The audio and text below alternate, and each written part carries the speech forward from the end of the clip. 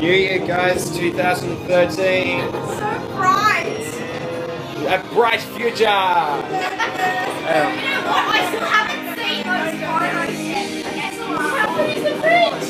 Really? And then having.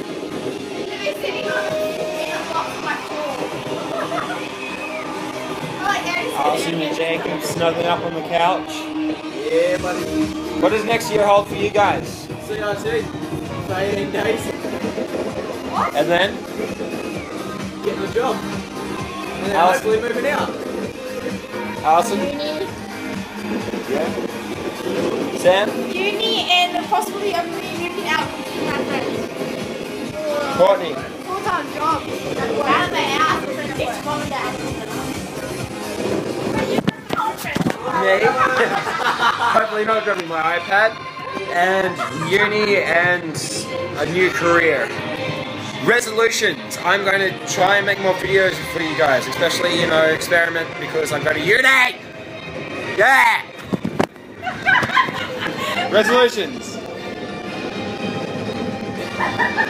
That's serious. Be more productive. Be more productive. Uh, whatever. I'll get back to you. Yeah. Study extra hard and try to get the goals. I- Try to reach the goals I want to get. Cool. Goals. Uh, I don't know. Come on. Let's say full-time job I like. Fair enough. Yes.